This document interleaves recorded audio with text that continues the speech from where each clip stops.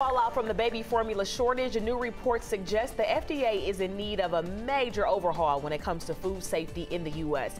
After heavy criticism for their handling of the baby formula crisis, the FDA commissioner asked a group of independent experts to complete a thorough review of the agency.